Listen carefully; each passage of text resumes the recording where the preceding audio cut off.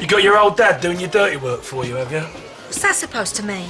Right, what's happened? Just keep your family away from Ben, because if it happens again, Phil won't be as understanding as me.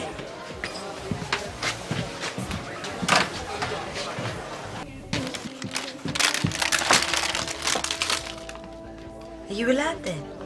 No. Uh, uh, what's going on?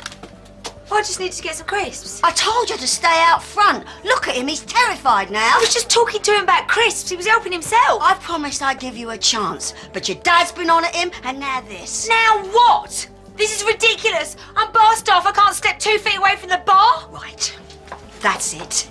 You're sacked. Go on, get out. You're sacked.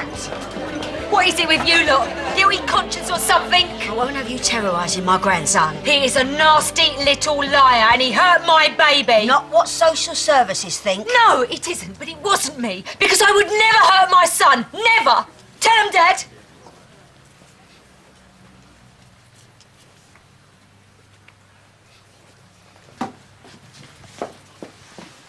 Mo! Just don't.